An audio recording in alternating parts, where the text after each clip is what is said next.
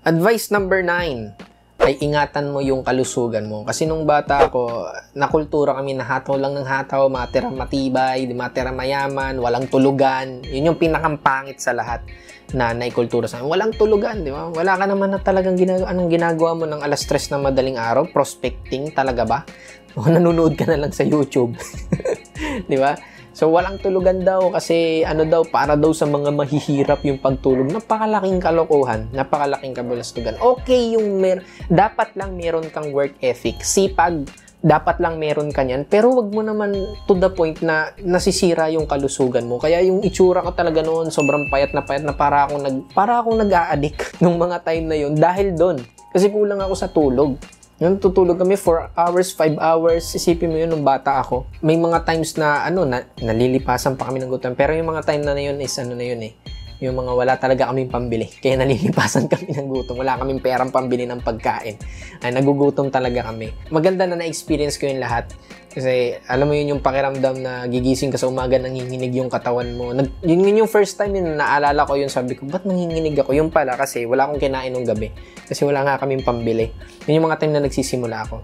So alagaan natin yung kalusugan natin, yung mga simple, mga simple exercise routine, uh, push up, sit up, or whatever na routine basta gumalaw-galaw ka. At pinaka iiwasan natin is yung pagpupuyat, yung kulang sa tulog hindi man pagpupuyat, pero kulang sa tulog.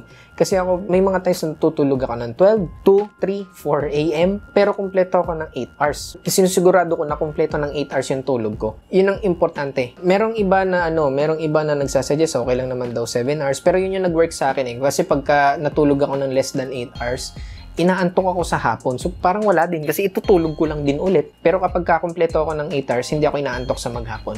So, yun yung mai-recommend ko sa inyo. Iwasan nyo yung mga ganun. And especially bisyo.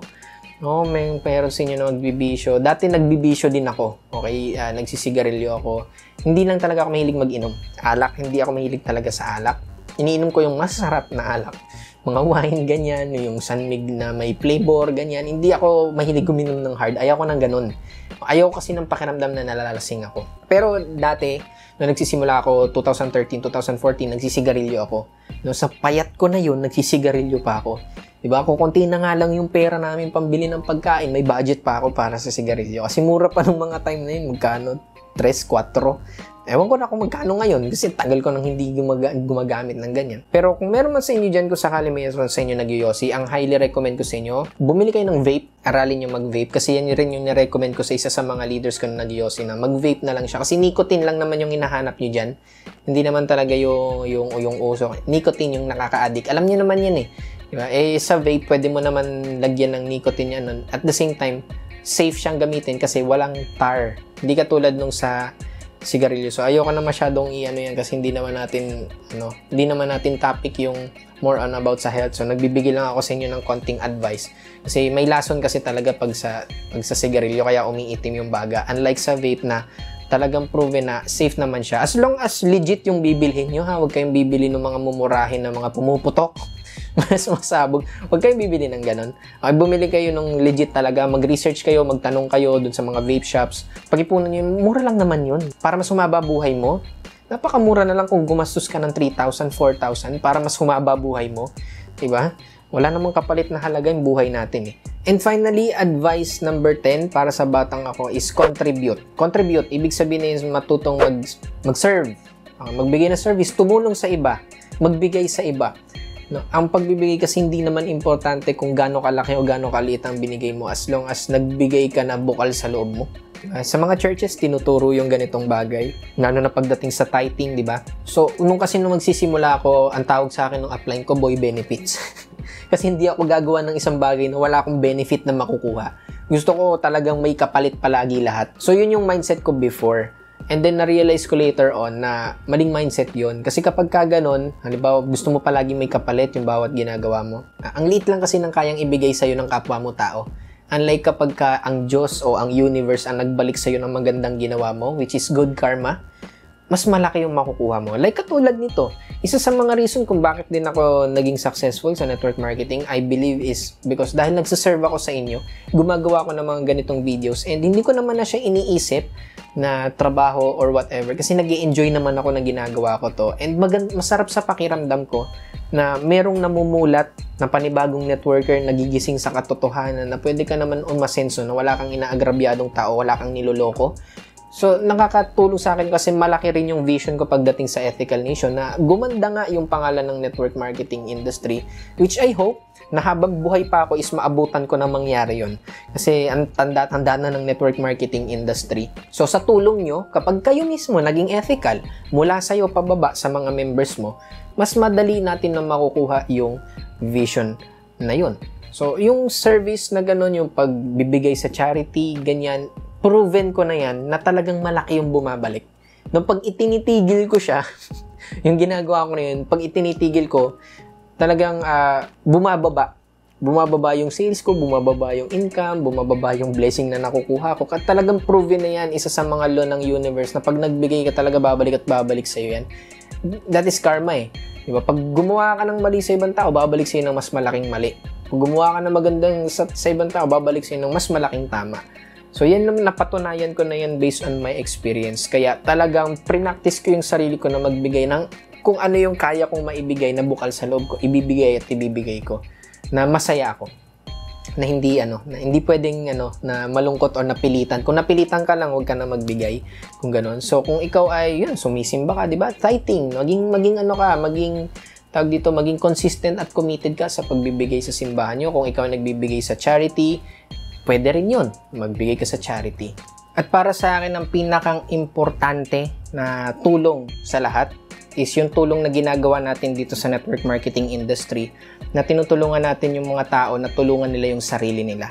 Yung mga members natin na tulungan nila yung mga sarili nila. Kapag tinuturuan natin sila kung paano maging successful at ma-achieve yung mga pangarap nila, tinutulungan natin sila na matulungan yung sarili nila. And at the same time, ipapasa rin nila sa ibang tao. Kasi yun yung paulit-ulit din na sinasabi ko sa mga members ko na ang pag sinabi kong tulong, hindi ito yung bibigay ko na lang sa inyo, susubo ko na lang sa iyo, payayamanin na lang kita tapos wala ka nang gagawin.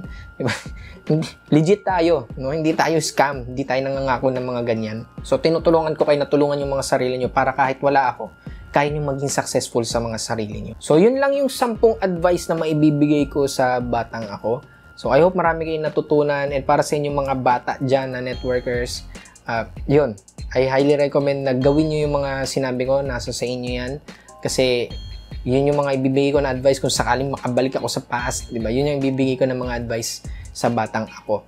So, meron akong ginawa na ebook which is yun nga, nabanggit ko na yung The Introverted Network Marketer ebook. Pwede nyo i-check yan para matutunan nyo kung paano kayo magiging successful sa network marketing business kahit na mahiyain ka kahit na hindi ka mahilig maki ano sali sa mga tao or hindi ka jolly, hindi ka madaldal. Kung kabarik lang ka ng mga extrovert na mga madadaldal.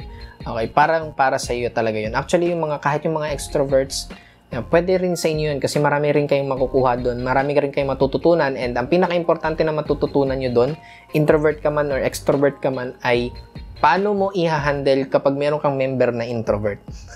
ano yung dapat mong gawin? Para sa kanila. No, para maging excited sila at tumataw sila sa negosyo. So, with that being said, I hope marami kayong natutunan. Uh, question of the day, comment mo dyan sa ilalim kung ano yung pinakang tumatak sa isip mo dito sa video na ito. Para binabasa ko yung mga comments nyo dyan. Hanggat kaya kong basahin, binabasa ko yung lahat.